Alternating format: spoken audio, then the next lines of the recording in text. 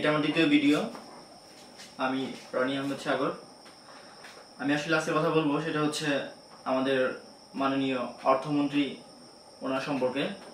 আমি শুধু বলতে চাই, আপনি যে কথাটা বলছেন, আমরা যারা প্রবাসে থাকি, সেটা হচ্ছে যে আমরা পঁচিশ হাজার, একুশ হাজার টাকা বেশি স্যালারি পেলে আপনাকে ভ্যাট দিতে হবে।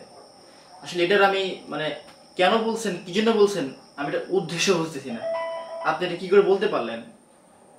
আসলেই আপনি এখন যে পর্যায়ে আছেন, যদি আমাদের পর্যায়ে থাকতেন যে আমরা কি কষ্টে প্রবাসে আছি, আপনি কি জানেন, আমরা যখন দুপুরে খাই বা সকালে খাই, আমরা পলিথিনে ভাত খাই।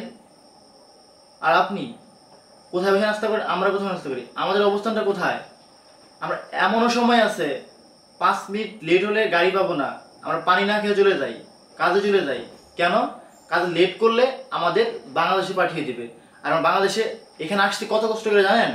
আমার, আমি নিজে, আমার তিনটা গরু তিনটা গরু এবং কি একটা দোকান ছিল, সেটা বিক্রি করে আমি আসছি প্রবাসে। কেন আসছি? ও টাকার জন্য আসছি। তো আমার রক্তে ঝরা টাকা, আমি এগুলা কেন আপনাকে ভ্যাট দেবো? আমি যদি একুশ হাজার না, একুশ লাখ টাকা স্যালারি পাই, তো আপনাকে ভ্যাট দেওয়ার আমার তো মানে কোনো পুরো পাচ্ছি না আমি কীভাবে আপনাকে ভ্যাট দেবো। আমাকে বোঝাইতে হবে তো যে আপনি এই জন্য ভ্যাটটা দেবেন। আমার জন্য আপনি কি করছেন? আমি যখন এই প্রবাসে আসলাম, আমার জন্য আপনি কিটা করছেন? আমি যখন আপনাদের বাংলাদেশ বাংলাদেশ এয়ারলাইন্সে আসলাম, আমার জন্য কোনো ছাড় দিছেন? যে আমার জন্য এইটা ছাড় দিছেন, দুই হাজার টাকা দিচ্ছেন এক হাজার ছাড় দিচ্ছেন যে এই সুযোগে আপনি বলতে পারেন যে আমাকে আপনি, আপনাকে আমার ভ্যাট দিতে হবে। আমি তো ভ্যাট দেওয়ার কোনো পুরো পাচ্ছি না আপনাকে ভ্যাট দেওয়ার।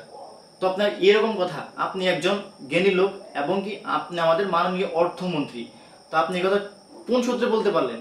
আপনার মুখ, যেটা ইচ্ছা সেটাই বলবেন? অথবা আপনারা জানেন যে আপনারা যেটা বলবেন সেটা অবশ্যই অবশ্যই ক্রয় করবেন এবং কি নেবেন। তো আমাদেরকে এইভাবে কেন? তো আমাদের যদি ভ্যাট নিতে হয়, তাহলে আমাদের বাসায় যান, আমাদের ফ্যামিলি জিম্মি করেন। আমরা যারা প্রবাসী আছি, সবার ফ্যামিলি জিম্মি করেন। জিম্মি করেন, জিম্মি করে বলেন যে যারা প্রবাসী আছে তাকে টাকা দিতে হবে। তো ভ্যাট বলে কেন উচ্চারণ করেন?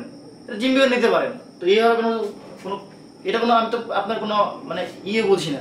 যাই হোক, আমি আর বেশি কথা বলব না। এই কথা শেষ করব। আর আমরা যারা প্রবাসী আছি আমরা একটু এই অর্থ- অর্থমন্ত্রীর এই কথার রিপ্লাই করি এবং কি ওনার কথার জবাব দিই। আসসালামু আলাইকুম।